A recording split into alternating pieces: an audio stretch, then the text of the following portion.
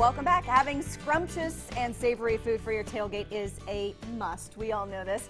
Here to share some ideas with us for this weekend's big game is our good friend Christy Maggard from Good Foods Co-op. And Christy, always a pleasure to have Hi. you. Because you always Oh. bring great food. Yes. These, blue, these solid blue chips want to want to fall They down do. here. They want us to go ahead and get into them. yeah, I know, and I, I kind of want to. I know. I don't care what time it is. I'm always up for appetizers. Same here. And so what we've brought today is getting you ready for the big game on Saturday. Yes. A lot of people might be tailgating from 8 in the morning till way past 8 at night when Uh-huh. the game starts. When I start at 8 in the morning, I'm done by noon. But Exactly. you got to sustain yourself with some food. We do, yes, you Yes. do, you do. I will be. Um, so a couple of things we're going to do, and these are all appetizers that you can make um, ahead of time, bake off, and then bring and put it, you know, Pyrex test or something like that that keeps it hot. Okay. Of course, all this stuff is what we have at Good Foods. So one of the fun things that we're going to do, especially when you're starting at 8 a.m., might be Uh-huh. a chicken and waffle, mini chicken fun. waffle. So all you're doing is you're going to toast your waffle like you would normally, and then you're just going to quarter it up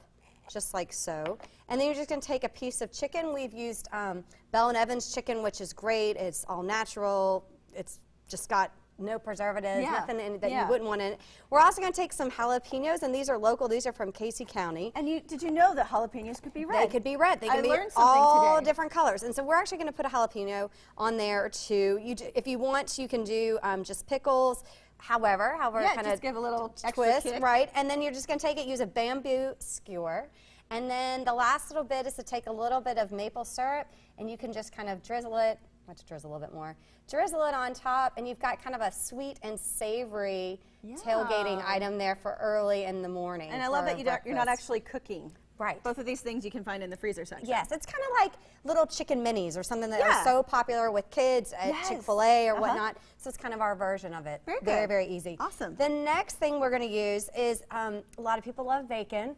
Who I doesn't? mean, really, exactly. so this is something that you want to make ahead of time. What you're going to do is you're going to take um, bacon, and we're using um, local bacon from Stone Cross Farms. And you're just going to cut it into thirds. And if you like to wrap your little, we're going to use hot dogs, but you can use um, those little Little smokies. Smokies? Yeah. Yes, you can use how you know. Cut your bacon however you want, and then you're going to want to cut your hot dogs. We are using some all-natural Applegate hot dogs Yum. that we sell at the co-op, and all you're going to do is just then wrap it up and use a toothpick. You're going to bake these in the oven for about 20 minutes uh, at 350, and all you're going to do is once you put them, I'm displaying them just here on a plate, but once you've put them in the oven, like in a in a Pyrex dish or whatever, you sprinkle. Sprinkle brown brown cheese, sugar. uh, brown sugar, brown cheese.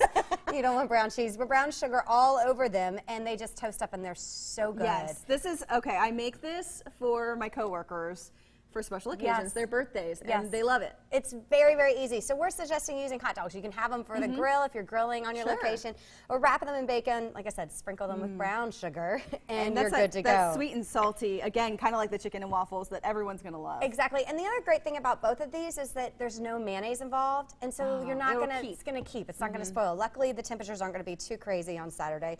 But that's also got to be keep in mind that when you're bringing food out, you want to make sure that it's It's gonna be safe. Exactly. Yeah. Then this last one, there was too much prep, so we couldn't do it on air. But this might be my new favorite thing. There there's goes the chips-. Yes, They just wanna be open, They so do. let's I- just Let's, go go, for it. This is a hot sausage beer cheese dip. It smells so And good. And what we've used is brown sausage, local brown sausage that you just want to brown in the in a skillet, and then you're combining um, grated cheese, cheddar cheese, um, uh, cream cheese, and then a can of beer. And Okay. the beer it, we're that. using is a West Six local IPA. Okay. So we encourage you to use a local beer, and then you bake it 350 for 15, Mm. 20 minutes, and then you just top it with some green onions. Y'all, it smells so good. I, I just have to try it.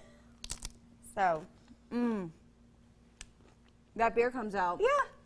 And this is so much easier than making actual beer cheese. Right. Well, that's that's exactly right. Because beer 'Cause cheese making it does from take scratch takes a while. And we encourage you that at, at the co-op we have so many local beer cheeses already Mm-hmm. made. Come pick up that, pick up your chips and your beer. But if you wanted to make your own beer cheese, this has got a different kick to it, and especially with the sausage, it makes it super fun. This is fantastic, Christy. Thank you so much for bringing it. well, this. thank you. These are all really easy. We'll have them up on our website today so people can link to them and, and give some other ideas. Perfect. Sounds great. Well, we're all ready for the game on Saturday, thanks to you. And uh, we're going to be back and check in with Eric one more time out at WCYN Radio coming up after this.